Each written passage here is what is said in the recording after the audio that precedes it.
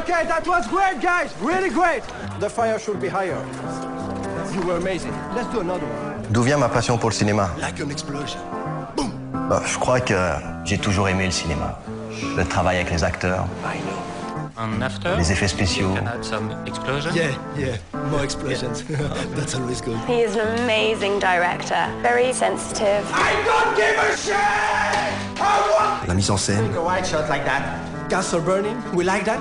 Everybody screaming. Lot of blood. Boom. Explosion. le scénario, Sorry, we're ready for Yeah, yeah, yeah. Come in.